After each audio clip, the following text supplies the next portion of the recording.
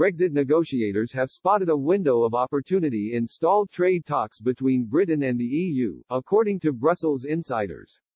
Michel Barnier is heading for London for informal talks with officials ahead of next week's official negotiations and there are signs that progress could be made.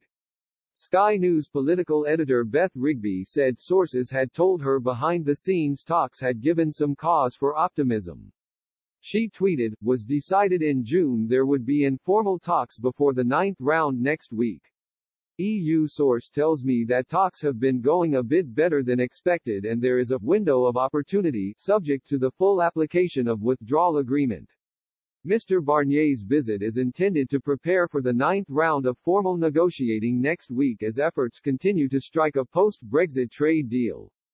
Talks on a trade deal are continuing but both sides have said major stumbling blocks remain and time is running out to get an agreement. Agreement will need to be reached by the end of October in order to ratify it and have it in place when the current transition arrangements expire at the end of the year. The Prime Minister's official spokesman said Mr. Barnier's visit was part of the informal talks process which both the UK and the EU committed to.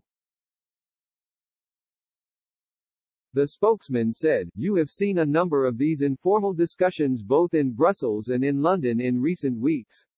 We have always stressed that we believe a deal is possible and we will continue to work hard on securing a deal.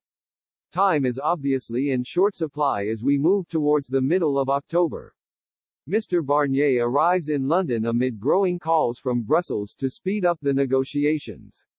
European Commission Vice President Valdis Dombrovskis, who is replacing Ireland's Phil Hogan as EU trade chief, said it was impossible to rule out insufficient progress causing a no-deal outcome. Speaking after a meeting of trade ministers in Berlin yesterday, Mr. Dombrovskis said, there are many outstanding issues. Progress on a number of key EU asks so far is not sufficient.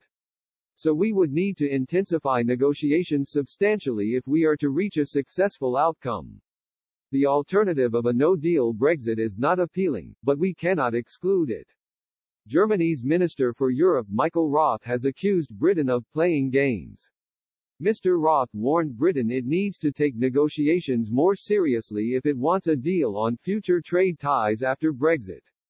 He said, we need to work hard to reach this goal of a deal but at some point the games have to stop, we need serious discussions. One major sticking point, Boris Johnson's controversial Brexit legislation enabling the UK to break international law, cleared a major Commons hurdle tonight after MPs backed a government compromise.